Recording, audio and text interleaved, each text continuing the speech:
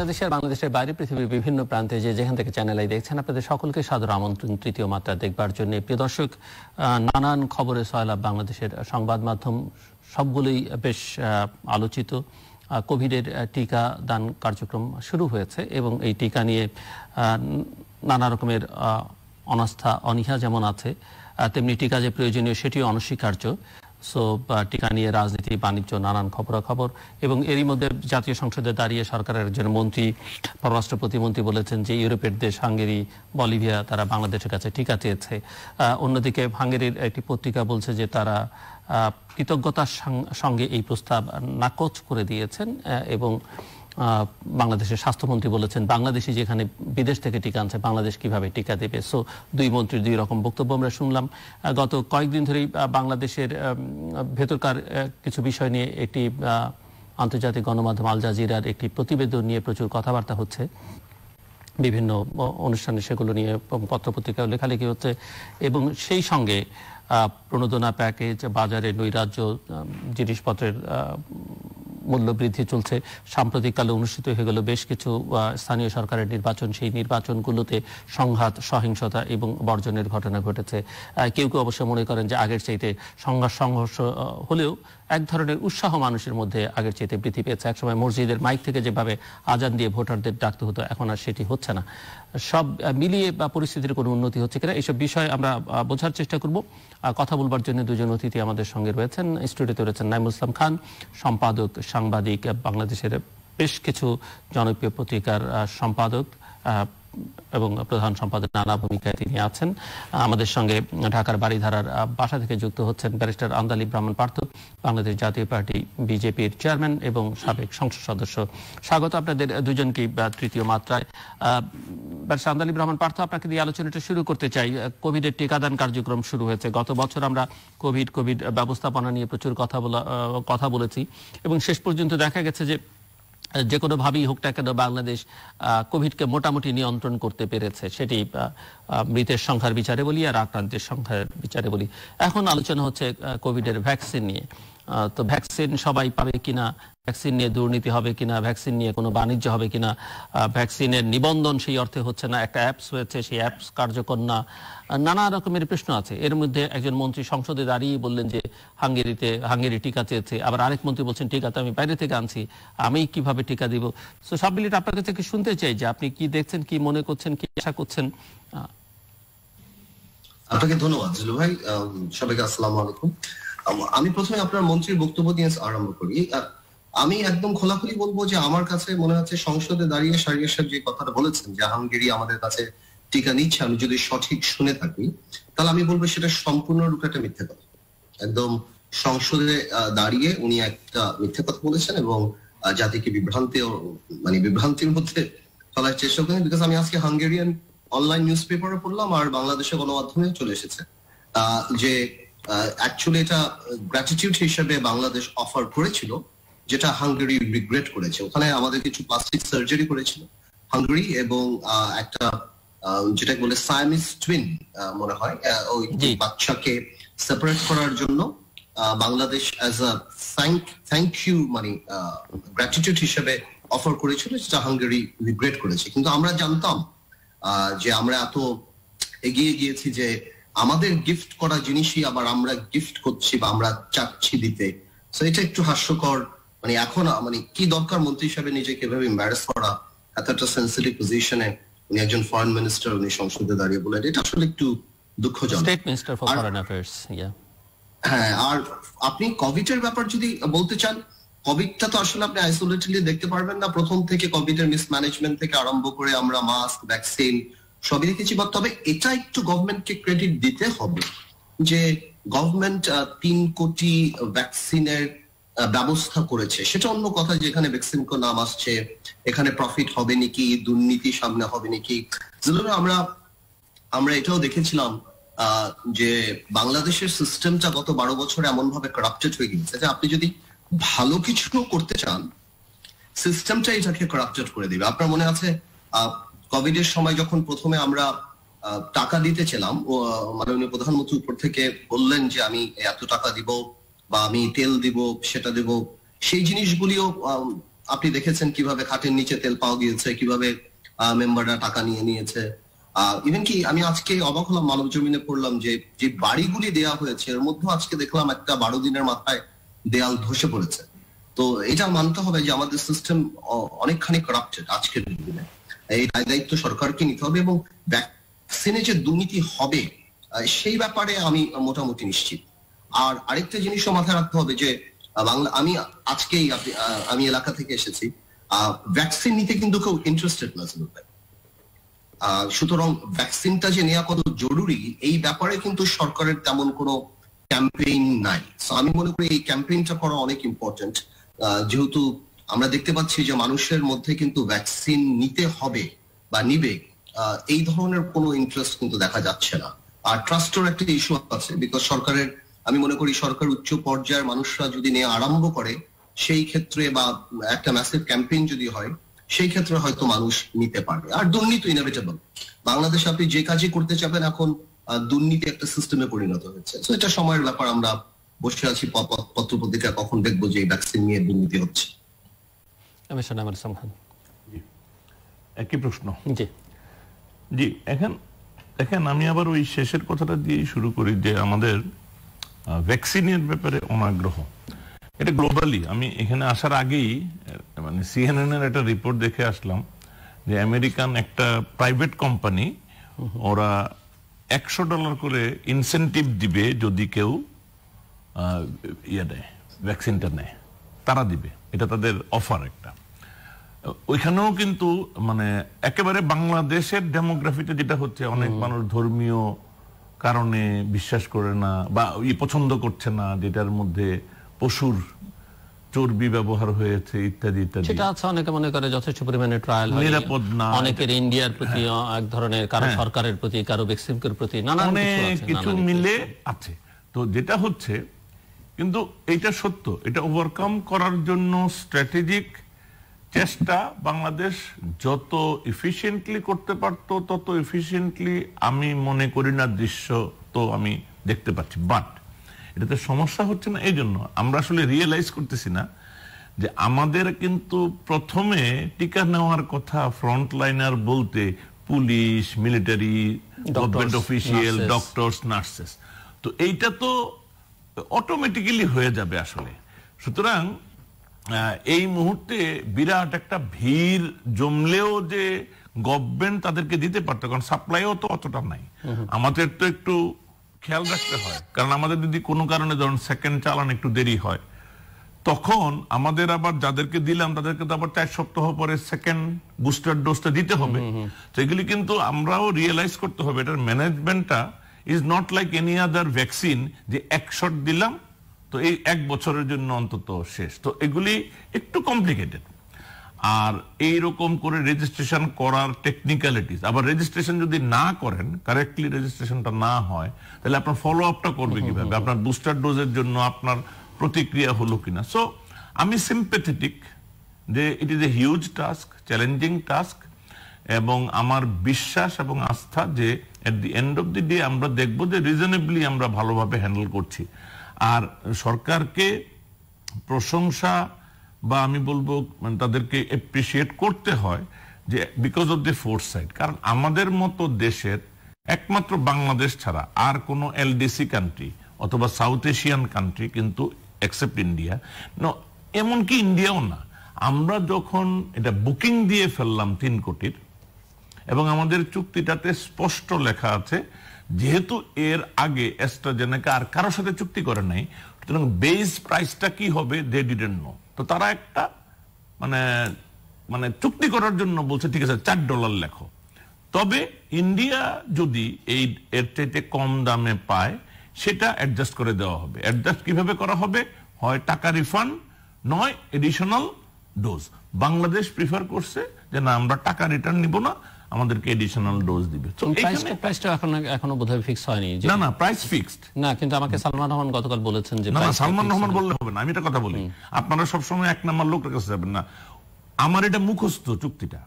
সালমান রহমান বললে ভুল বলছে। প্রাইস ইজ আবার আন্ডারস্ট্যান্ডিং হয়েছে আমি বলতেছি কথাটা। মানে আমি যেটা বলতেছি এটা একদম এক্স্যাক্টলি বিকজ আমার মুখস্থ ওই জায়গাটা। জিনিসটা হলো প্রাইস চুক্তিতে চার ডলার ফিক্সড কিন্তু পয়েন্ট ক্লজ টু পয়েন্ট ওয়ানে বলা আছে যে ইন্ডিয়া যদি দেখা যায় যে কমে কিনছে তখন এটা অ্যাডজাস্ট করবে।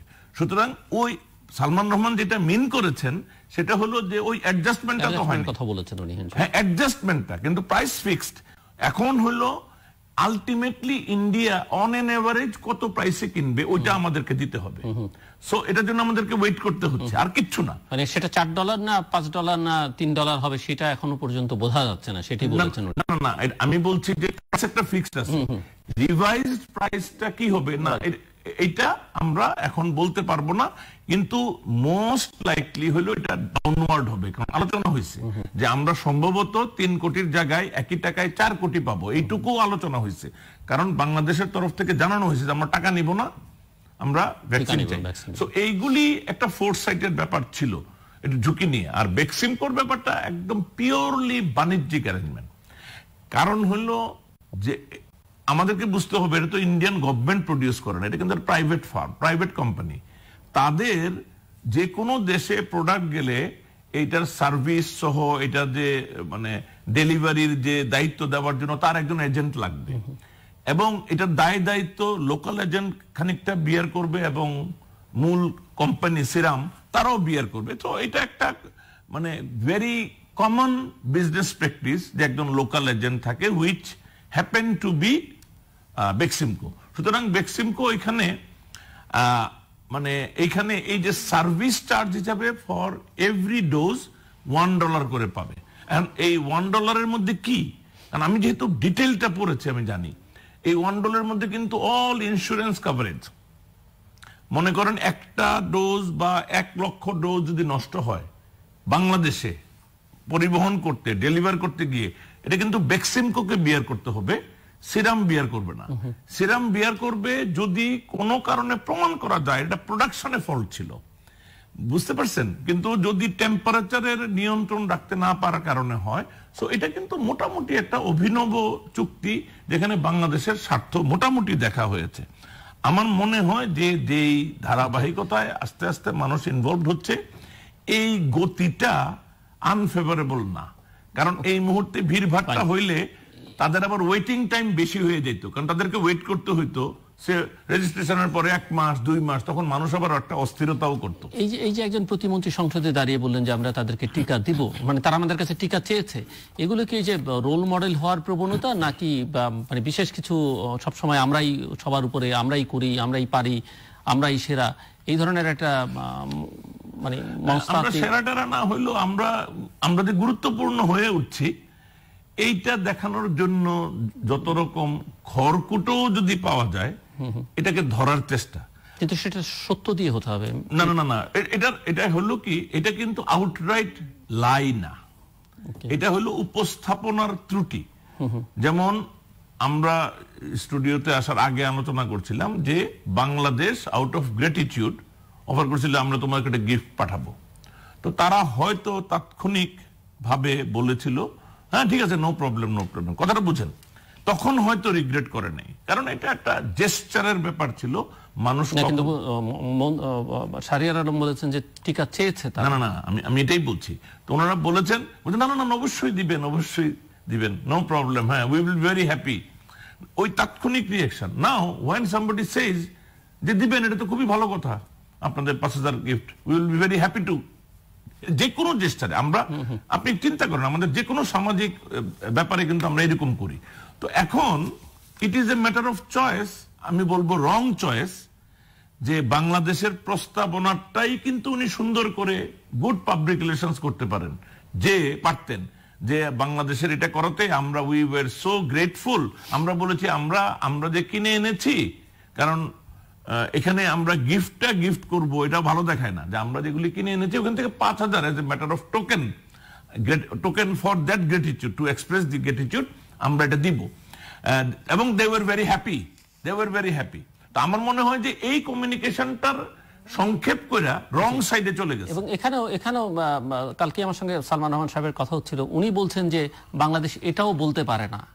যে আমি তোমাকে টিকা দিব কারণ টিকা যে শর্তে আনা হচ্ছে এবং টিকার এই যে যেটি আপনি শুরুতেই উল্লেখ করলেন যে এই টিকা তো ম্যানেজ করতে হবে।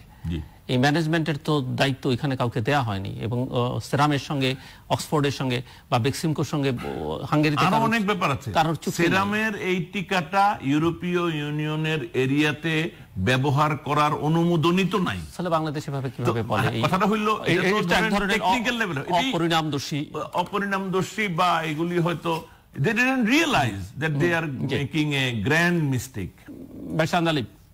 এখানে আরেকটা জিনিস আছে। এখানে আরেকটা জিনিস আছে সেটা হলো আমরা যখন দাঁড়িয়ে বলি যে হাঙ্গেরি আমাদের কাছে চাচ্ছে আমরা বুঝাচ্ছি that in this context we are superior than যে হাঙ্গেরি যেখানে টিকা পাচ্ছে না আমরা টিকা দিচ্ছি। সে সুতরাং এটা ভুল উপস্থাপনা না এটা অ্যাকচুয়ালি হাফ ট্রুথ না।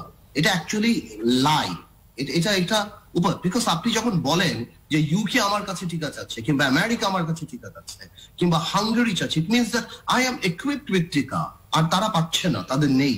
তো এখানে একটা মানে মিসকমিউনিকেশন বলব না আমি মিসলিডিং একটা ব্যাপারও আছে। তো আমার মনে হয় না, শাহরিয়ার সাহেব অত্যন্ত বুদ্ধিমান বা মানে মানে একজন ফরেন মিনিস্টার উনি এই ধরনের মিসলিড পার্লামেন্টে দাঁড়িয়ে জাতিকে করবে আর সেটাকে আমি বলব যে ভুলভাবে উপস্থাপনা করেছে। আমার মনে হয় এটা অনেক লিনিয়েন্ট ভাবে ওনাকে ওনাকে এই ক্রেডিটটা দেওয়া হবে। আমার মনে হয় উনি জেনে শুনে এটা বলেছেন বিকজ উনি কনফার্ম ছিলেন যে হাঙ্গারি নিবে ন্যাচারালি বা সামথিং লাইক দ্যাট যেটা আজকে উনি এম্বারেস হলেও হতে পারেন বিকজ হাঙ্গারি বলে দিয়েছেন যে না আমরা এটা নিব না। সিম্পল না কিন্তু এখানে আমি একটু বেনিফিট অফ ডাউট দিই। আমি বলেছি was a- আমি শুধু বলছি আমি I am terming it as a mistake এটা উইলফুল লাইং না আর দ্বিতীয় কথাটা হলো হাঙ্গেরি কিন্তু রিফিউজ করে নাই। তারা কিন্তু গ্রেটফুল্লি রিগ্রেট করেছে। মানে তারা কিন্তু না না তারা তাদের না না না না না। একটা দেশ যখন গ্রেটফুল্লি রিগ্রেট করে for very many reasons they can not accept this তো এটার মধ্যে এটা নেগেটিভ রিজেকশন হিসেবে এটা দেখা যায় বলে ফেয়ার মাইন্ড বলে না। আমার আবার এমনি মিসলিড করেছে that's that's for sure okay আমরা যখন হাঙ্গেরি নিয়ে কথা বলব। মিস্টেক করছে যখন mistake can mislead so that is agreeable না না না আপনার না মিস্টেক কিন্তু ইজ মিস্টেক আমি আমি যেটা বুঝি নাই মানে মিস্টেক মানে হলো আমি ইনোসেন্ট উনি ওখানে জানতেন যে হাঙ্গারি ওনার কাছে এটা চাইনি। নাইমুল ভাই? So mistake is honest mistake এখানে আমি জানি না। আর ওইখানে উনি বলছেন আমাদের কাছে চেয়েছেন আমরা অফার করেছি আই থিঙ্ক ইজ কমপ্লিটলি আমি আপনার সাথে গতকালই আমি আরটিতে একটা শো দেখলাম যে একটা মানুষ বিশ্বাস করেই ভুল বলতে পারে যে সে এটা দৃঢ়ভাবে জানে। এই মিস্টেক মানুষের কীভাবে হয় এই সায়েন্সটা নিয়ে আলোচনা আমার একজন আমেরিকান একজন তা আমি মনে করি যে একটা মানুষের মিস্টেক অনেক সাইন্টিফিক ওই মুহূর্তের কোনো একটা চিন্তার মানে ভঙ্গিতে। কারণ আমার কারণ আছে। কারণ এটার মধ্যে তো বিরাট কোনো অর্জন করার কিছু নাই শাহরিয়ার আলমের। যে এই একটা মিথ্যা কথা বলে উনি বিরাট কিছু অর্জন করবেন ওইটা না আর কি। এটা একটু আমরা আমরা আমরা একটু প্রসঙ্গটা পাল্টাই এবং হাঙ্গেরি নিয়ে যখন কথা বলছি গত কয়েকদিন ধরে বাংলাদেশে হাঙ্গেরি অন্য প্রসঙ্গেও বেশ আলোচিত। সেটি হচ্ছে যে আল জাজিরার একটি প্রতিবেদন বাংলাদেশকে ঘিরে এবং সেটি নিয়ে আমরা জানি যে জাতিসংঘের মহাসচিবের মুখপাত্র তিনিও একটা প্রতিক্রিয়া দেখেছেন সাংবাদিকদের প্রশ্নের জবাবে যে এটির তদন্ত হওয়া দরকার, যেসব অভিযোগ এসছে এবং ওই প্রতিবেদনে যেটি বলা হয়েছে যে পিস কিপিং মিশনের জন্য কিছু যন্ত্রপাতি কেনা ইসরায়েলের থেকে এবং সেই ধরনের যন্ত্রপাতি আসলে পিসকিপিং মিশনে প্রয়োজন হয় না, সেটিও তিনি বলেছেন। এবং গত কয়েকদিন ধরে বাংলাদেশ এটি নিয়ে প্রচুর কথাবার্তা হচ্ছে, বিভিন্ন গণমাধ্যম, অনেকে বাংলাদেশের গণমাধ্যমকেও প্রশ্নবিদ্ধ করছেন যে বাংলাদেশের গণমাধ্যম এই ধরনের প্রশ্ন নিয়ে আলোচনা করতে পারে না, করে না এই ধরনের রিপোর্ট করে না, একটা বিদেশি সংবাদ মাধ্যম করল। তো সব মিলিয়ে এবং যে ধরনের অভিযোগ এসছে, যাদের বিরুদ্ধে অভিযোগ এসছে, তারা অত্যন্ত গুরুত্বপূর্ণ বাংলাদেশে নানা কারণে, নানাভাবে এর প্রভাব প্রতিক্রিয়া একটু শুনতে চাই আমি ব্যাসান আলিব আপনার কাছ থেকে। দেন মিস্টার বলবেন। জি জিলু ভাই আসলে আমরা তো এটা সবাই দেখেছি বেশ কয়েকবার দেখছি। আমি আমি যেটা বলব যে এটাকে আমি দুই ভাগে জিনিসটাকে দেখি। একটা হলো আপনি যদি বাংলাদেশের কনটেক্সটে দেখেন আমার কাছে এই বাংলাদেশের কনটেক্সট আমি বলছি যে আমার কাছে এই আল জাজিরার এই ডকুমেন্টারি জিলুব আপনি শুনতে পাচ্ছেন? হ্যাঁ শুনছি আপনার জি। আচ্ছা আমার কাছে এই ডকুমেন্টারি খুব একটা সেন্সেশনাল মনে হয় বাংলাদেশের কনটেক্সট বিকজ যেই দেশে বারো বছর যাবত রাত্রেবেলা ভোট হয় যেই দেশে বেসিক ব্যাংকের বাচ্চু দশ হাজার কোটি টাকা নিয়ে ঘুরে বেড়ায় ওয়ারেন্ট করা আসামি প্রাইভেট প্লেনে ফরেন মিনিস্ট্রি থাইল্যান্ডকে জানায় এবং ল্যান্ডিং পারমিশন নিয়ে ভেঙে চলে যায় যেই দেশে পিকে হালদার দশ হাজার কোটি টাকা মেরে দেয় রিজার্ভ ব্যাংক চুরি হয়ে যায় বাংলাদেশে। এখানে তো আমরা ওশানস ইলেভেন বানাতে পারতাম সিনেমা দ্য স্কেপ অফ শিকবার ব্রাদার্স বানাতে পারতাম ডিজিটাল কারশুপিং নির্বাচন বানাতে সেইখানে একজন গুরুত্বপূর্ণ স্থানে বসে এক ব্যক্তির ভাই বিদেশে বসে বলছে, আমাকে কমিশন দিতে হবে। এরকম তো মন্ত্রী মিনিস্টার ভাই, সন্তান, মন্ত্রী মিনিস্টার নিজেরা সারাদিন করে বেড়াচ্ছে বাংলাদেশ। সো আমার কাছে এই জিনিসটা মানে অবাক হওয়ার মতো কিছু লাগে নাই। বাংলাদেশের ম্যাক্সিমাম মানুষই যদি কোনো পলাতক আত্মীয় স্বজন বিদেশে থাকে দেখা করবে। বাংলাদেশে একটা পাসপোর্ট বানিয়ে দিয়েছে বিজেপি থাকা অবস্থায়। বাংলাদেশের রোহিঙ্গারা সকাল বিকালই পাসপোর্ট বানাচ্ছে করোনার সার্টিফিকেট বানাচ্ছে ডেথ সার্টিফিকেট বানাচ্ছে, সবই হচ্ছে বাংলাদেশে। বাংলাদেশে একজন মেম্বার অফ পার্লামেন্ট কাতার না কুয়েতে জেল খাটতেছে। বাংলাদেশে এক member of parliament Shahin Chakladar দেখলাম, পুলিশকে ভাই মনে করে বলছে, বাবা, তুই একটু বোম মেরে আয়। তুই আমার তো ডাইনামিক হতে হবে। তুই সিভিল ড্রেসে যে বোম মেরে আয় কয়েকটা, তারপর ওনার নামে মামলা দেন আপনি দাবিটা দেখেন না। মানে কি সাংঘাতিক একটা ভ্রাতৃত্ব যে একজন এমপি একজন একজন ওসি কে বলছে এবং ওসি সাহেব বিব্রত বোধ করে আই এম শিওর ওসি এটা লিক করে দিয়েছে।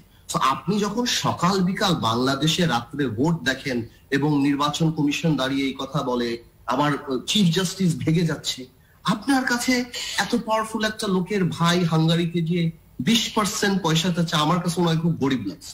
লাইক মানে ইন কনটেক্সট অফ বাংলাদেশ আমার কাছে আমার ওই কাজ আদৌ হলো কি হলো না আমার কাছে এটা এটা এটা মনে হয়নি যে বাংলাদেশের কনটেক্সটে এখানে ব্যারিস্টার আন্দালিব আরেকটি প্রসঙ্গ মানে এই প্রসঙ্গগুলো কিন্তু আর নতুন নয়। মানে যেগুলো এই প্রতিবেদনে এসেছে সেগুলো কিন্তু কম বেশি আমরা জানি। এবং এই প্রতিবেদনের সঙ্গে যে নেত্র নিউজ যুক্ত তারাও কিন্তু বিভিন্ন সময় এই রিপোর্টগুলো করেছে।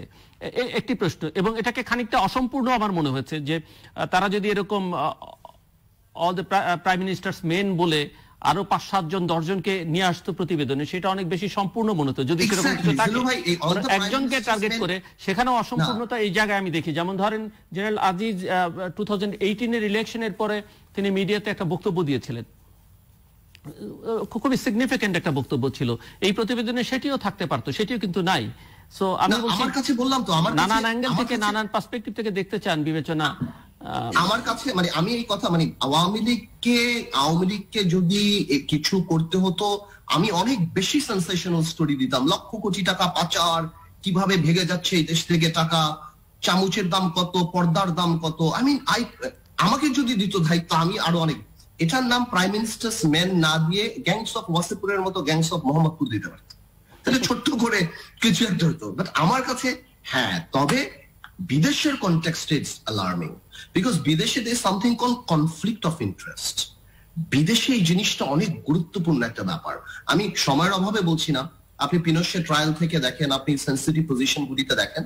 এরকম যদি আপনি দেখেন যে ওদের কাছে মনে হবে ও মাই গড এটা কীভাবে সম্ভব? সো বিদেশের পারপাস কিন্তু সার্ভ করেছে যদি আপনি সেই টার্গেট আপনি আপনি কি মনে করেন? যেমন যেমন আমি একটু জাস্ট ছোট্ট করে বুঝতে চাই যে সেনাপ্রধান যুক্তরাষ্ট্রে আছেন এবং ইউনাইটেড নেশনসের যে প্রতিক্রিয়া আমরা যদি টু সেভেনের শুরুর দিকে ফেরত যাই যে তখন যখন বাংলাদেশে একটা জরুরি অবস্থা জারি বা একটা বিশেষ সরকার আসছে হ্যাঁ এবং সেখানেও সেই ইউনাইটেড নেশনস সেখানেও পিস কিপিং মিশন এই ইস্যুসগুলো সামনে চলে এসেছিল। সো ইতিমধ্যেই আমরা ইউএন এর প্রতিক্রিয়া আমরা দেখেছি। সো আপনি সে- বিষয়ে কিছু বলবেন কিনা না? না এটা তো ডেফিনেটলি বিকজ আমি আপনাকে যে কথা বলার চেষ্টা করছি যে এখানে আমি নাইম ভাইয়ের একটা টক শো দেখেছিলাম। নাইম ভাই ভেরি ইন্টেলিজেন্টলি সে মানে পুট আপ করেছে জিনিসটা। যে সবচেয়ে বড় আমাদের প্রবলেম হয়েছিল যে আমরা এটা রিয়াকশনটা দিতে পারি। বাংলাদেশের গভর্নমেন্ট এটা একদম without no application of mind রিয়াকশনটা আউটরাইট রিজেক্ট করে দিয়েছে ক্যাটাগরিক্যালি করে নাই। এখন পর্যন্ত করে নাই ক্যাটাগরিক্যালি এবং তারা বলছে এটা জামাত জামাত টাকা দিয়েছে এটা লন্ডন থেকে করেছে এটা এই করেছে। দিস আর এই জিনিসগুলির দরকার নেই। আল জাজিরা যদি ম্যালিস থাকে তাহলে শহীদুল হক সাহেবকে যে মেরেছিল that is enough Al Jazeera এই সরকারের পিছে শহীদুল আলম। শহীদুল আলম আই সরি তো এই জিনিসগুলি কিন্তু আমাদের গভর্নমেন্ট যে হঠাৎ বলে দিয়েছে যে না, এটা কিছু না, এটা মিথ্যা, এটা বানোয়ার এটা করে সবচেয়ে বেশি প্রবলেম করে দিয়েছে। এবং এই ইউনাইটেড নেশন তো ন্যাচুরালি বলেছে, যেহেতু এত বড় একটা ইন্টারন্যাশনাল গণমাধ্যমে এই জিনিসটা এসেছেন এবং সেখানে ইসরায়েলের কথা এসেছেন, ওরা বলেছেন যে ডিউ ডিলিজেন্সে কাজ করা উচিত।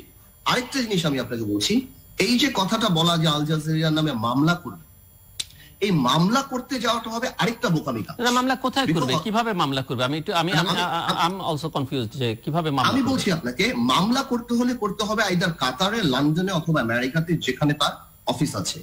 আর মামলায় প্রমাণ এই লাস্ট কিন্তু আল জাজিরা নামে একটা মামলা হয়েছে খুব ফেমাস জিমারম্যান নামে একজন বেসবল প্লেয়ার সেখানে কিন্তু অ্যাকচুয়াল ম্যালিস দেখাতে হবে। অ্যাকচুয়াল ম্যালিস মানে বিদ্বেষ। আর অ্যাকচুয়াল ম্যালিস দেখানোর পরও ফ্রিডম অফ এক্সপ্রেশন আর ফ্রিডম অফ স্পিচের সাথে কিন্তু সেটা ব্যালেন্স করা হবে এবং এই মামলা যেটা খুব কঠিন আরও প্রবলেম হলো এই শুনেন এক ঘণ্টার যখন বানিয়েছে ওদের কাছে বিশ ঘণ্টার মেটেরিয়াল আছে। এই একটাকে জাস্টিফিকেশন অফ ট্রুথ দিয়ে বাংলাদেশের আরও অনেক সেন্সিটিভ ইনফরমেশন সেখানে পাবলিক ডকুমেন্ট হিসেবে বের হয়ে যাওয়ার একটা সম্ভাবনা থাকবে। সেখানে গভর্নমেন্ট আরও অনেক বেশি এম্বারেসড হবে। সুতরাং আমি বলব যে বাংলাদেশের কন্টেক্সটে দিস ইজ নাথিং কিন্তু বিদেশি কন্টেক্সটে অফকোর্স আমাদের ইমেজ ক্রাইসিস হয়েছে।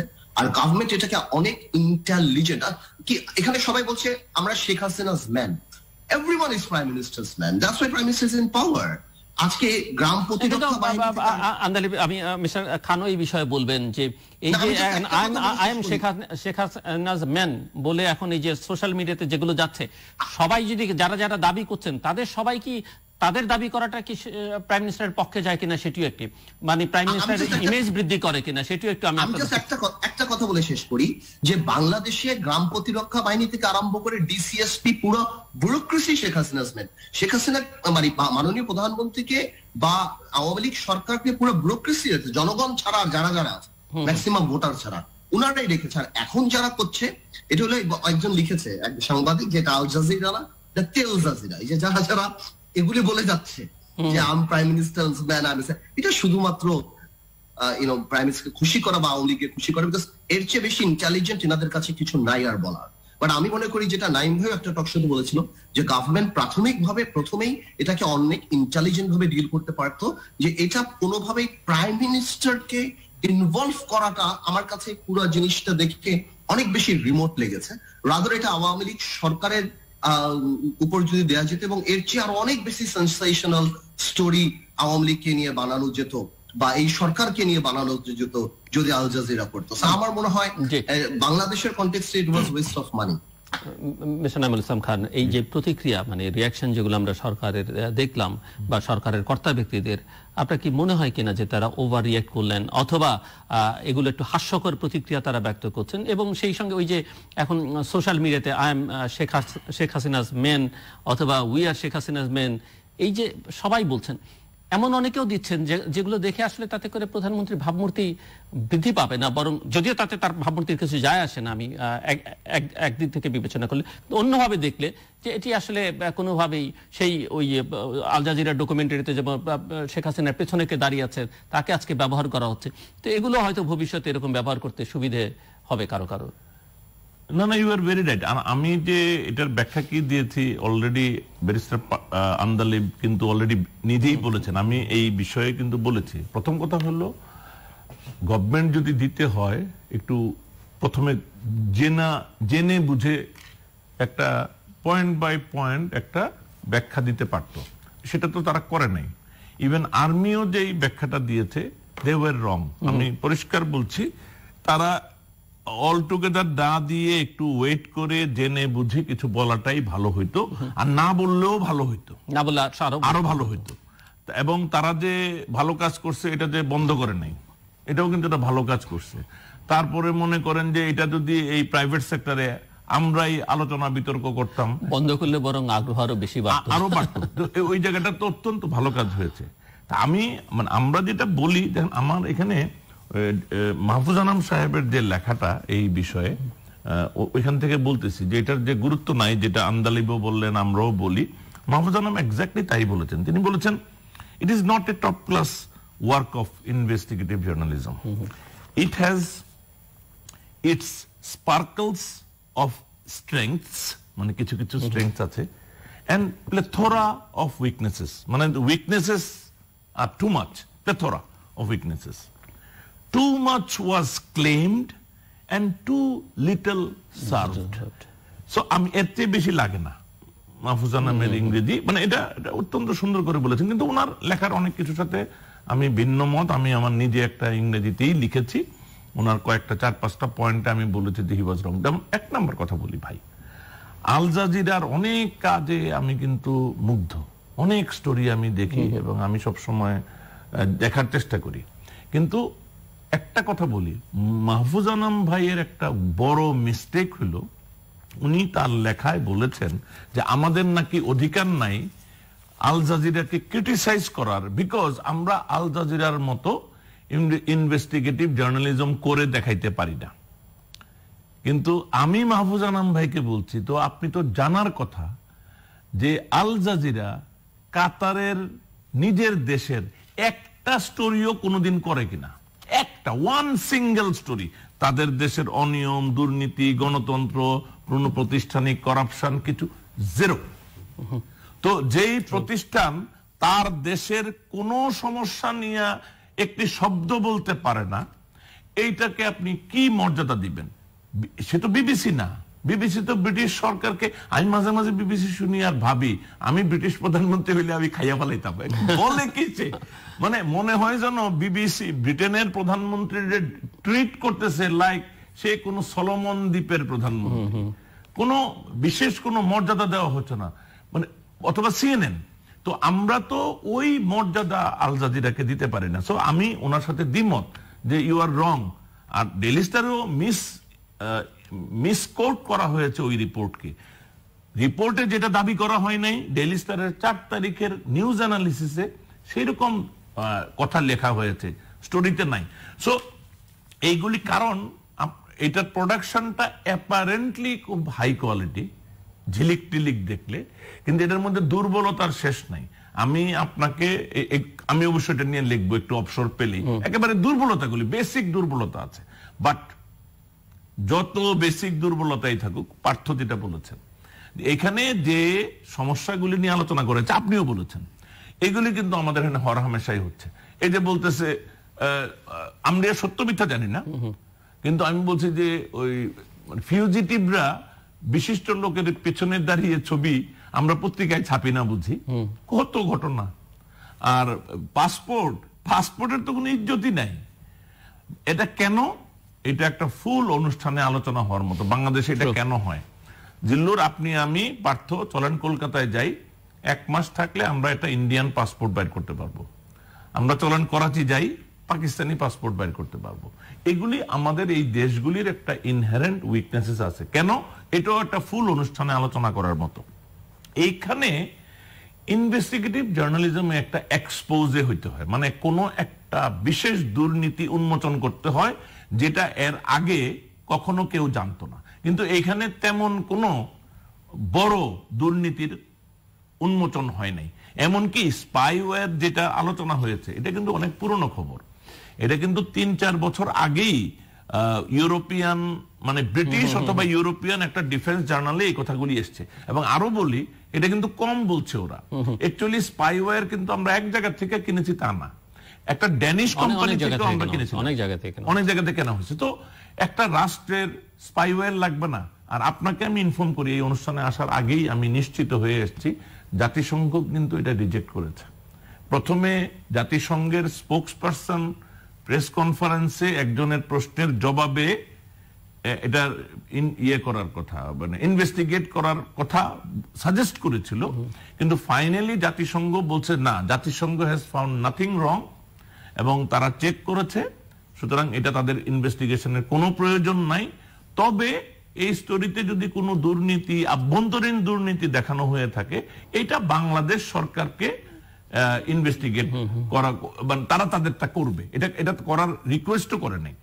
সাজেস্ট করার মতো করেছে। সো এটা গেল। আরেকটা মাহফুজা নাম আবার তার লেখাতে একটা জিনিস বলেছেন। মানে মাহফুজ ভাই মনে হয় একটু জানেন। উনি বলছেন যে উনি যে এইগুলির সমালোচনা করলেন বলেন তো ইংরেজিটা হলো I confirm at least in the first episode two episode two which I confine my comments মানে আমার এই কমেন্টসটা only for the first episode এখন মাহফুজা নাম এটাকে ফার্স্ট এপিসোড বলল কেন? এটা তো স্টোরিটার মধ্যে কোথাও লেখা নাই কিন্তু এপিসোড ওয়ান টু থ্রি তার মানে মাহফুজ ভাইয়ের কাছে কোনো তথ্য আছে যে আরও এপিসোড আসছে? আমরাও শুনতেছি। আমরা শুনছি যে সালমান এফ রহমানকে নিয়ে একটা এপিসোড থাকতে পারে।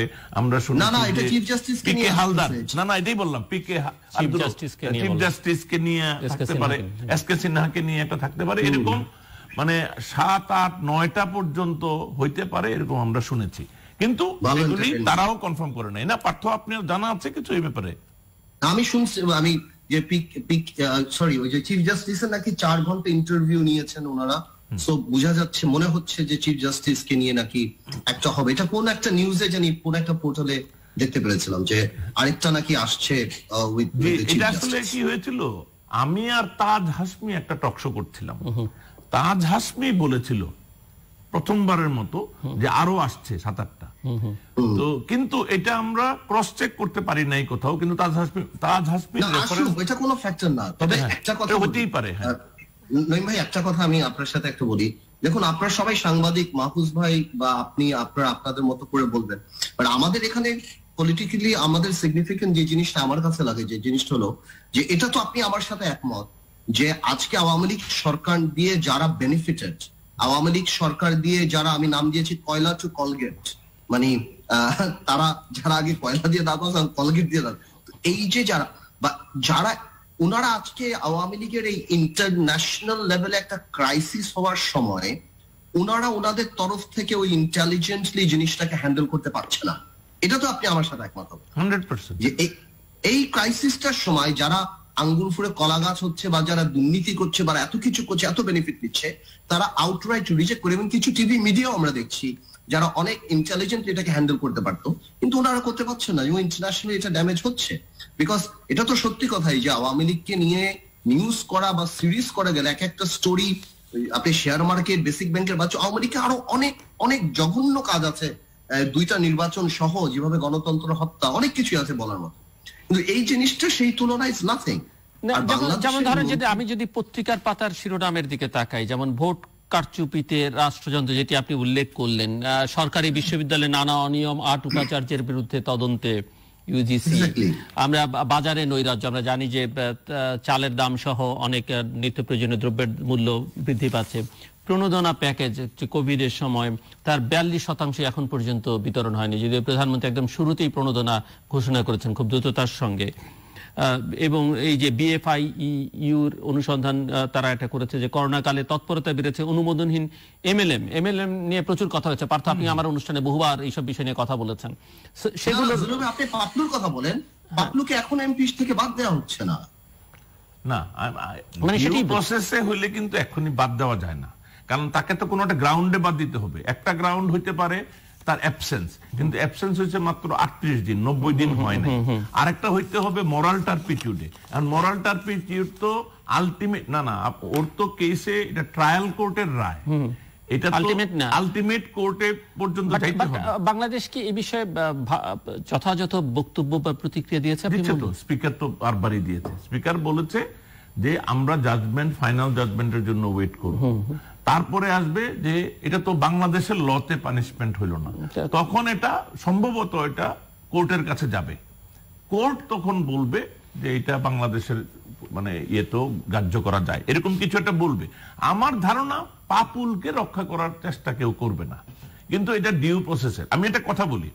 শেখ হাসিনা পারত পক্ষে তড়িঘড়ি করে পানিশমেন্ট দিতে চায় না। উনি কিন্তু বঙ্গবন্ধু হত্যা মামলাও আপনারা, আমরা সবাই সাক্ষী। এটা কিন্তু একেবারেই সাধারণ কোর্টে দীর্ঘ মেয়াদী বিচার প্রক্রিয়ার ভিতর দিয়ে করিয়েছেন।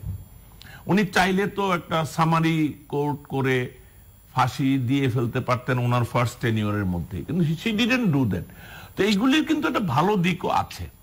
Let let let the due process be followed তো আমার মনে হয় যে ওইটা ওইটা হচ্ছে। আমি শুধু আন্দালিবের সাথে অ্যাড করার জন্য বলছি যে, দেখেন অলরেডি জিল্লুর কিছু এক্সাম্পল দিচ্ছিল। বাংলাদেশের নিউজ পেপার টেলিভিশন কি আলোচনা করে না?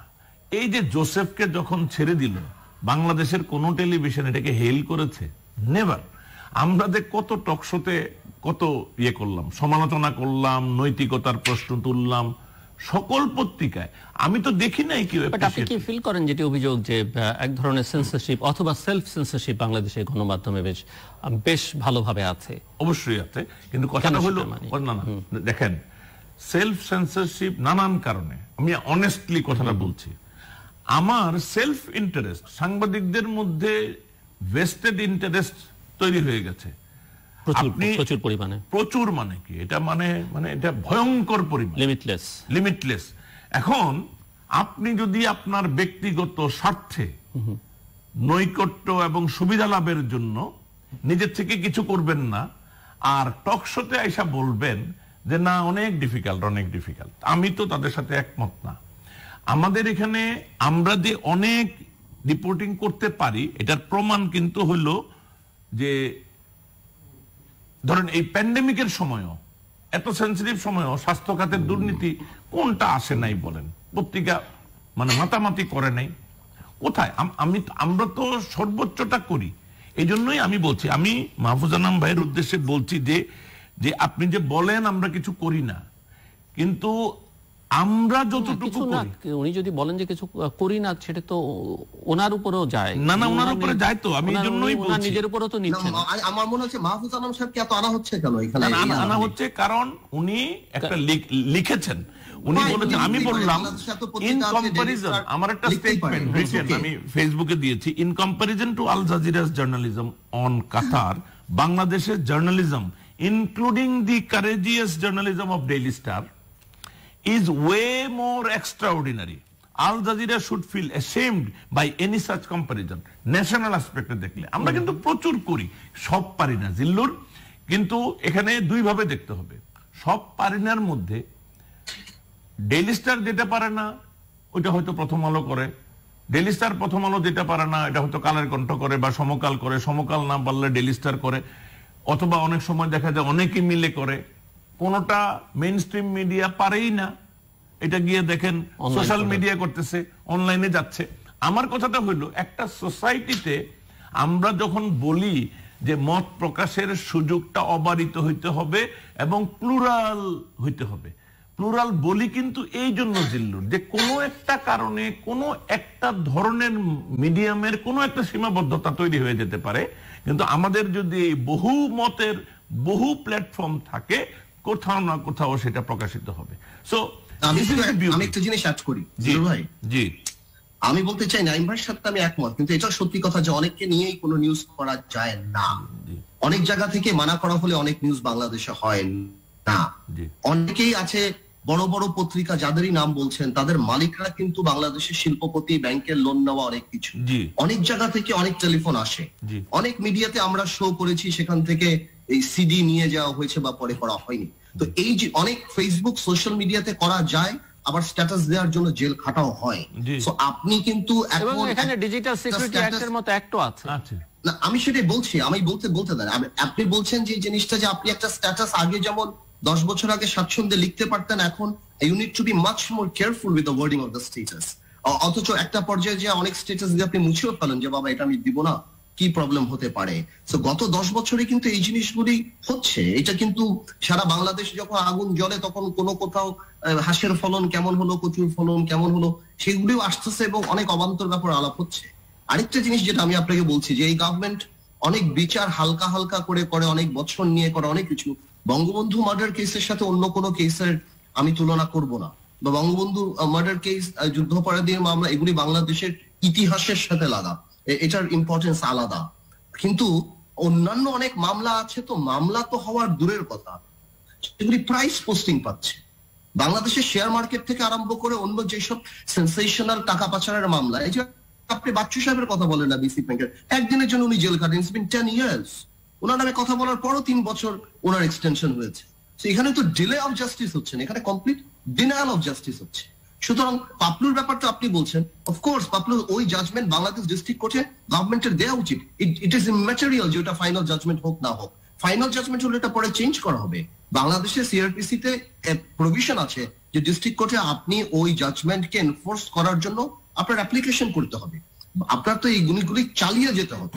এই পাপলু যখন প্রথমে অ্যারেস্ট হয়েছে বা প্রথমে হয়েছে, বাংলাদেশ গভর্নমেন্ট থেকে ওই লাগাম ছাড়া কথা বলা হয়েছে না, আওয়ামী লীগ করে না, তো আমরা জানি না, দেখা যাক, একদম ভুয়া কথা বানোয়া কথা। তো এই কথাটা সত্যি না যে আর এই সরকার কেন ঠিক করবে? বিচার কি হবে না হবে? বিচার করবে বিচার বিভাগ। সরকার কি ঠিক করেনি কি? এটা দুই বছরে করবে এটা তিন বছরে করবা? এটা করবে বিচার বিভাগ। এটা তো সরকারের দায়িত্ব না। তো বাংলাদেশে যে একটা লেভেল যে বিয়ন্ড জাস্টিস যে ব্যাড বয়েজ বিলেনিয়ার্স যে বাংলাদেশে হচ্ছে যে প্লেন দিয়ে চলে যাচ্ছে যাদের নামে ওয়ারেন্ট লক্ষ কোটি এটা তো আপনারা স্বীকার করতে পারবেন না। এবং আপনারা যারা আপনি you have done a good thing যে ব্যাড বয় বিলিয়নিয়ার্স এর উল্লেখ করলেন। তো ব্যাড বয় বিলিয়নিয়ার্সদেরকে ইন্ডিয়ার এত চৌকস গণতন্ত্র মানে ঠেকাতে পারছে? আমার মাঝে মাঝে প্রশ্ন কেন compare করব? না না না না, না কিছু হইলে আবার আপনারা বলেন ইন্ডিয়া তাহলে আমরা তো না, আমি বলছি না, আমি ভাই রে বাংলাদেশের ভাই কথা বলছি। ভাই রে ভাই আমি একটা কথা বলি ভাই। আমি এটা সব আমি যখন একজন হুজুরের সাথে বিতর্ক করতে বসি উনি বলে এটা ইসলামী রাষ্ট্র করবে। আমি বলছি ভাই কোন রাষ্ট্রটা ইসলামিক পৃথিবীতে? বলে যে এখনও আদর্শ নাই। না নাই ভাই আপনি কনটেক্সটে শোনেন ইন্ডিয়ানরা তো পালিয়ে গিয়েছে এরা তো দেশে আছে। কোনটা? আপনি আন্দালিব, আপনি তাহলে ব্যাড বয় ভালো করে দেখেনি নেই? না না আমি দেখি নাই না আমি টার্মটা ইউজ করছি আমি সিনেমার কথা বলছি। না। না না টার্মটা তো। ইম্পর্টেন্ট কারণ ইন্ডিয়াতে যারা আছে ওনারা তো ওনারা তো ওই আপনি ভুল বলতেছেন। ওনাদেরকে চলে যেতে দেওয়া হয়েছে। ওনাদের ওনাদের বিরুদ্ধে যখন কেস হয় ওনারা দেশে ছিলেন। কেউ চাইলে তাদেরকে আটকাইতে পারত। আচ্ছা তাদেরকে দিয়ে দেওয়া হয়েছে। মানে আমরা না না আমি বলছি না আমরা করা। দিস ইজ এ কোয়েশ্চেন আমরা যখন কিছু বলি পলিটিশিয়ানরা তখন কি করে? কি বলে? বলে দেশে যদি গণতন্ত্র থাকতো সুন্দর নির্বাচন থাকতো তাইলে নাকি সুশাসন থাকতো। সুশাসন থাকলে তো ভারতে এটা নাই। ভারতে গণতন্ত্র নাই তাহলে পৃথিবীর কোথায় গণতন্ত্র আছে? আমরা যে গণতন্ত্র চাই এটা পৃথিবীর কোন দেশের উপরে ভিত্তি করে বলি যে আমাদের ধারে কাছের এই দেশটা গণতন্ত্র দিয়া খুব চমৎকার বিকশিত হচ্ছে। ভালো না। তাহলে তো সারা জীবন আমাদের এটাই বলতে হবে যে ভারত কি করল ওর চেয়ে আমরা ভালো আছি এটাই হলো আমাদের না আপনি মাইন্ড করেন না। আমি আমিও আপনার মতোই বলি আমাদেরকে এই ভালো করতে হবে ওই ভালো করতে হবে। কিন্তু একটা গোপনে গোপনে মনের মধ্যেই প্রশ্ন হয়, ইসলামিক রাষ্ট্র করলে এটা কোন ইসলামী রাষ্ট্র বাংলা পৃথিবীতে আছে তখন আমি হুজুরদের বলি, হুজুর, আমারে শুধু একটা ইসলামী রাষ্ট্র হোক, তাদেরকে একটু দশ বিশ বছর দেখি, তারপরে আমরা ইসলামী হোক। আমাদেরকে প্রথমে ইসলামী বানায়েন না গণতান্ত্রিক রাষ্ট্র আমাদের লেভেলের একটা দেশের নাম বলেন, যে যারা গণতন্ত্র কইরা অর্থনৈতিক উন্নয়ন, মত প্রকাশের স্বাধীনতা, প্রেস ফ্রিডম সবকিছু অসাধারণ সামঞ্জস্য বিধান করে চলতে পেরেছে। একটা অসাধারণ না হোক ফার ফার বেটার তো আছেই না না না নাম আমরা। বলেন আপনি। না আমাদের স্ট্যান্ডার্ডের আমাদের বলছেন। এখন এখন এখন যে আমার একটা মানের আলোচনাটা আসে এই জন্য যে আমরা তো কনভিন্সড হইতে হবে যে আমরাও চাইলে পারব যে আমার ধারে কাছে আমি কিন্তু আমাদের চাইতে অধস্তন এক্সাম্পল চাই না। আমার চাইতে একটু বেটারই ইতিহাস ঐতিহ্যে বেটার গণতান্ত্রিক ঐতিহ্যে বেটার উদাহরণটা চাই এই জন্য যে আমরা তো কনভিন্সড হওয়ার ব্যাপার। মানে আমাদের সাধারণ মানুষ বা যারা বুদ্ধা তাদের মধ্যেও অনেকে কনফিউজ যে আমরা আসলে কি চাই? যে ধর্মীয় রাষ্ট্র চায় মানে কোরআন সন্না ভিত্তিক রাষ্ট্র চায় সে তার মাথার মধ্যে কোন রাষ্ট্রটা থাকে? যে বাম রাজনীতি করে উনি কোন রাষ্ট্রটা সামনে রেখে কথা বলছেন? একটা উদাহরণ, তাহলে বুঝতে সুবিধা হয়। তেমনি একটা যে উদার গণতান্ত্রিক রাষ্ট্র, আমার অর্থনৈতিক কাঠামোর কাছাকাছি, আমি কিন্তু আমার চাইতে নিচের দেশ বলব না, অধস্তন দেশ বলব না উপরে যে তারা ভালো করেছে। তাদের ওই ইতিহাস হচ্ছে যে তারা গণতান্ত্রিক অধিকার, মত প্রকাশের স্বাধীনতা প্রেস ফ্রিডম সব কিছু দিয়েছে এবং প্রবৃদ্ধিও চলেছে। তাদের এখানে কোনো সময় ব্যাংক ব্যাংকের টাকা লোপাট হয় নাই। তো these are the few question now আমি এই কোশ্চেন গুলি করছি এই জন্য না যে আমি সুশাসন চাই না, ব্যাংকের টাকার বিরুদ্ধে, কারণ আমিও সাফারার আমারও অনেক টাকা নষ্ট হয়েছে এই যে পিপলস লিজিং এ। কিন্তু আমি আবার এটা মেনে নিতে হয় যে আমাদের মধ্যে মতো দেশগুলিতে হয়, রাষ্ট্র যদি কোনোদিন ফিরিয়ে দেওয়ার ব্যবস্থা করতে পারে, আমরা পাবো, নইলে পাবো না। আমাকেও কোর্টে গিয়া একটা সাধারণ মামলায় ধারণা করতে হয় তিরিশ থেকে চল্লিশ বছর লাগবে এটা রিজলভ করতে। I am not happy about it কিন্তু আমাকে বুঝতে হয় এরকমই তো। আমার চাইতে দরিদ্র মানুষ তো এটাও আশা করতে পারছে না। সো আমাদেরকে চেষ্টা আরও বাড়ানোর মিডিয়ার চেষ্টা সিভিল সোসাইটির চেষ্টা রাজনৈতিক দলের চেষ্টা এবং যথাযথভাবে চেষ্টা। আমাদের রাজনৈতিক দলগুলির মতো না। যেমন আন্দালিবের কাছে আমার এটা প্রশ্ন নিশ্চয়ই আন্দালিব এখন বলবেন। যে রাজনৈতিক দল হিসেবে উনি কি নির্বাচনের তিন মাস আগে উঠে পড়ে লাগবেন? দেশে একটা সু- সুন্দর নির্বাচনের জন্য। এখন কেন কিছু করছেন না ওনারা? ওকে। আন্দালিব আমরা একেবারে শেষের দিকে খুব ছোট্ট করে। ছোট্ট করে বলতে গেলে তো এটাই বলতে হবে যে দেখেন আমরা চাই আমরা যারা মানে এখন তো গ্লোবাল মানে সবকিছু আমরা গ্লোবাল সিটিজেন আমরা যখন দেখি রুল অফ লটা থাকে না, আমি এটা বিশ্বাস করি না যে নির্বাচন হলেই এই দেশ পরিবর্তন হয়ে যাবে বাট আমরা বেটার এফোর্ট দেখতে চাই। আমরা যখন স্টেট প্যাট্রোনাইজ দেখি এবং এদেরকে ঘুরতে দেখি, এই জিনিসটা আমাদেরকে মানে একটা প্রসেসের মধ্যে থাকবে না, এই জিনিসটা আমাদের কাছে খুব কষ্টকর। যে আমরা যাদেরকে দেখছি, যাদেরকে জানছি, কিন্তু তারা আইনকে কোনো তোয়াক্কা করছে না, তারা ঘুরে বেড়াচ্ছে এবং এটা স্টেট প্যাট্রোনাইজ দেখতে হবে বিকজ তারা বাংলাদেশের সবচেয়ে পাওয়ারফুল মানুষদের সাথেই ঘুরে বেড়াচ্ছে। তো আমার কাছে এই জিনিসটা তখন অনেক ইনসাল্টিং মনে হয় এবং ফ্রাস্ট্রেটিং মনে হয়। এর বাইরে আর কিছু বলব আরেকটা প্রশ্ন মিস্টার খান করেছিলেন আপনাকে যে এই যে নির্বাচন নিয়ে আপনি কি তিন মাস আগেই আপনারা মানে রাজনীতিবিদদের কাছে প্রশ্ন? এটা তো আমাদের- এটা একটা কন্টিনিউয়াস এফোর্ট থাকতে হবে সবসময় বলতে হবে? এটা তো এটা তো কালচারের ব্যাপার। বাংলাদেশের মানুষ এখন রাগ হয়ে নিশ্চিত হয়ে গেছে। এটা আমরা না।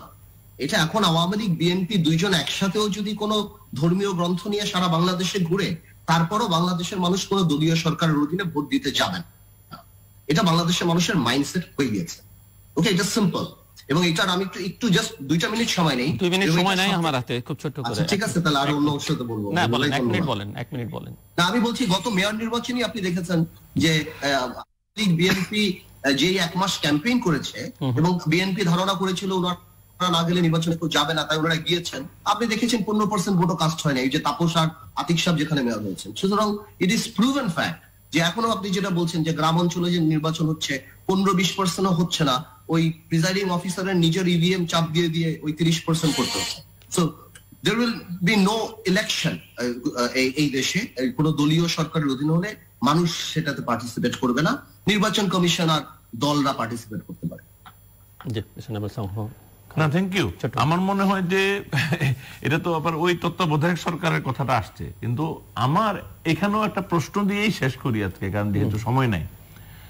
আমরা যদি দলীয় সরকারের অধীনে নির্বাচন করি তাহলে নিশ্চিতই ওই প্রতিষ্ঠিত সরকারই আবার পুনর্নির্বাচিত হবে। আর আমরা যদি তত্ত্বাবধায়ক সরকারে যাই তাহলে নিশ্চিতই বিরোধী দলটা ক্ষমতায় আসবে। তাহলে তো ইকুয়ালি ফ্লড মনে হয় দুইটা, কারণ দুইটাই সার্টেন নিশ্চিত। তত্ত্বাবধায়ক সরকার দেন, যে বিরোধী দলে আছে সে জিতে আসবে, আমরা তাই দেখেছি।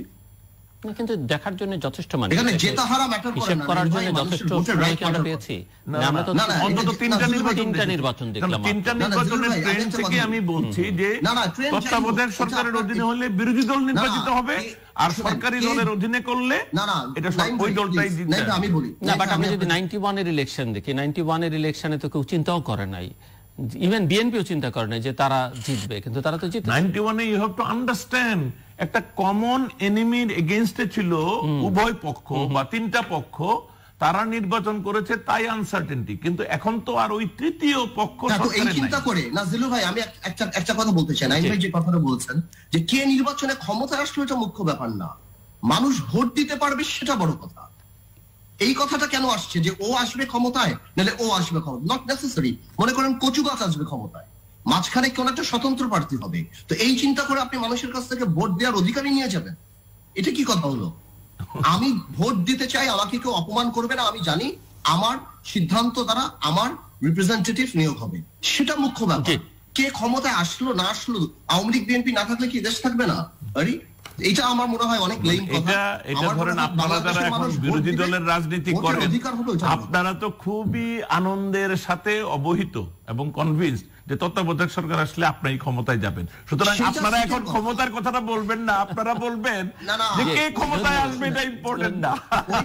আমাদের ব্যাপার না আমরা জনগণের কথা বলছি। ধন্যবাদ, আমরা ক্ষমতায় আন্দালিব রহমান। কি হবে ভাই? আমরা পাঁচ বছর পর হয়তো আবার চলে যাব ব্যারিস্টার আন্দালিব রহমান এবং ইসলাম খান, System অনেক ধন্যবাদ এই আলোচনা অংশ নেবার জন্য। দর্শক কথা হচ্ছিল নানা প্রসঙ্গ নিয়ে। কোভিডের টিকা বা ইতিমধ্যেই টিকাদান কার্যক্রম শুরু হয়েছে। এটি নিয়ে রাজনীতি না হোক বাণিজ্য না হোক দুর্নীতি না হোক এর মধ্যে সকলের চাওয়া। কিন্তু টিকাটা খুবই প্রয়োজনীয় এবং সবাই টিকা দিবেন সেটি আমাদের প্রত্যাশা এবং সবাই টিকা পায় যেন সেটি সরকার নিশ্চয়তা বিধান করবে। দুর্নীতি নিয়ে প্রচুর আলোচনা হচ্ছে, বাংলাদেশের গণমাধ্যমের স্বাধীনতা নিয়ে আলোচনা হচ্ছে, বিতর্ক হচ্ছে, আল জাজিরেটের প্রতিবেদন নিয়ে তুলনামূলক আলোচনা হচ্ছে। এগুলো একটি সমাজের স্বাভাবিক ক্রিয়াকর্ম। কিন্তু বাংলাদেশেও সাংবাদিকরা যে কথা বলে না সেটি নয়, সংবাদপত্রে লেখা হয় না, টেলিভিশনে নিউজ হয় না, সেটিও যেমন ঠিক নয়, আবার উল্টো দিকে কথাও ঠিক যে অনেক কিছুই বাংলাদেশের সাংবাদিকরা বলে না, বলতে পারে না। মিস্টার নাইমুল ইসলাম খান কিছু কিছু ব্যাখ্যা দেবার চেষ্টা করেছেন যে কেন করে না, হয়তো পত্রিকায় লেখে না টকশোতে সে অন্যরকম কাজ করে। এই যে সাংবাদিকতার এক ধরনের পচনের দিক ইঙ্গিত করলেন তিনি, সেখান থেকেও বাংলাদেশকে বের করে আনতে হবে। আবার এই কথাও আমরা অস্বীকার করতে পারব যে না, এখানে আইনি বাধ্যবাধকতা আছে। ব্যারিস্টার আন্দালিব বলছিলেন কিছু নির্দেশনা আসে, টেলিফোনে আসুক বা অন্যভাবে আসুক। সেই উদাহরণে তিনি দেবার এর সবই আমাদের সমাজে কম বেশি আছে। এখান থেকে বাংলাদেশকে বের করতে হবে, বাংলাদেশের সাংবাদিকতাকে বের করে আনতে হবে এবং দুর্নীতি আছে, দুর্নীতিকে নিয়ন্ত্রণ করবার জন্য একেবারে শূন্য দুর্নীতি হবে সেটি আমরা কেউই চাই না মানে চাই না, চাই, কিন্তু এটি বাস্তবসম্মত চাওয়া নয়। এটাকে কীভাবে নিয়ন্ত্রণ করা যাবে এবং সবচেয়ে বড় কথা, প্রত্যেককে আইনের আওতায় আনার। সেই জায়গাগুলোতে অনেক রকমের ঘাটতি আছে। আমরা অনেক কিছুকে বড় করে দেখাবার চেষ্টা করি। অসত্য জিনিসকে বড় করে দেখিয়ে আসলে মর্যাদাটা বাড়ে না। সেটি আমাদের রাজনৈতিক নেতাদের কর্তা ব্যক্তিদের মাথার মধ্যে থাকতে হবে এবং সেটাকে তার জন্য যদি আবার জাতীয় সংসদের মতো প্রতিষ্ঠানকে ব্যবহার করা সেটি নিঃসন্দেহে লজ্জাস্কর। এবং সব কথার মূল কথা দেখবার দৃষ্টিভঙ্গিতে হয়তো নাইমুল ইসলাম খান এবং আন্দালিব রহমানের মধ্যে পার্থক্য থাকতে পারে। কিন্তু সকলেরই আমাদের চাওয়া দেশে গণতন্ত্র সুপ্রতিষ্ঠিত হোক, শক্তিশালী হোক, মানুষের অংশগ্রহণ, রাজনৈতিক, অর্থনৈতিক উন্নয়ন প্রক্রিয়া নিশ্চিত হোক, দেশে ভালো নির্বাচন হোক, যে নির্বাচনে মানুষ তার প্রতিনিধিকে নির্বাচন করতে পারবে দেশে আইনের শাসন, সুশাসন এগুলো সুনিশ্চিত হোক।